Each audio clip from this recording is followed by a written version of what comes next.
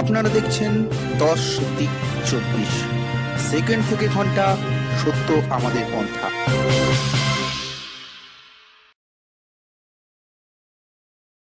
এবারের লোকসভা নির্বাচনে পঁচিশটি আসনে প্রার্থী তালিকা ঘোষণা করল বামেরা।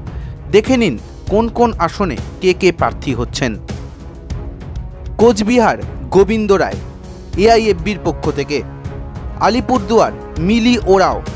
আরএসপির পক্ষ থেকে, জলপাইগুড়ি, ভগীরথ রায়, সিপিআইএমের পক্ষ থেকে, রায়গঞ্জ, মোহাম্মদ সেলিম, সিপিআইএমের পক্ষ থেকে, বালুরঘাট, রনেন বর্মন, আরএসপির পক্ষ থেকে, মুর্শিদাবাদ, বদরুদ্দোজা খান, সিপিআইএমের পক্ষ থেকে, রানাঘাট, রমা বিশ্বাস, সিপিআইএমের পক্ষ থেকে, বনগা, অলোকেশ দাস, সিপিআইএমের পক্ষ থেকে, দমদম, নেপালদেব ভট্টাচার্য সিপিআইএমের পক্ষ থেকে, বারাসাত, হরিপদ বিশ্বাস, এআইএফবির পক্ষ থেকে, বসিরহাট, পল্লব সেনগুপ্ত সিপিআইয়ের পক্ষ থেকে, জয়নগর, সুভাষ নস্কর, আরএসপির পক্ষ থেকে, ডায়মন্ড হারবার, ডক্টর ফুয়াদ আলিম সিপিআইএমের পক্ষ থেকে, যাদবপুর, বিকাশ রঞ্জন ভট্টাচার্য সিপিআইএমের পক্ষ থেকে, কলকাতা দক্ষিণ, নন্দিনী মুখার্জি সিপিআইএমের পক্ষ থেকে উলুবেরিয়া মাকসুদা খাতুন সিপিআইএমের পক্ষ থেকে,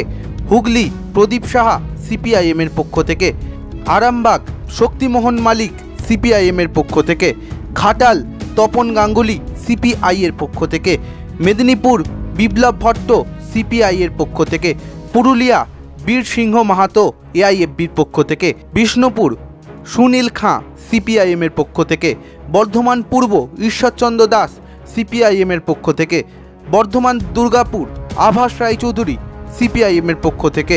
বীরভূম, ডক্টর রেজাউল করিম। খবরটি ভালো লাগলে লাইক করুন, কমেন্ট করুন, শেয়ার করুন। এই ধরনের আরও অনেক খবর দেখতে আমাদের চ্যানেলটি সাবস্ক্রাইব করে বেল আইকনে প্রেস করে যুক্ত থাকুন।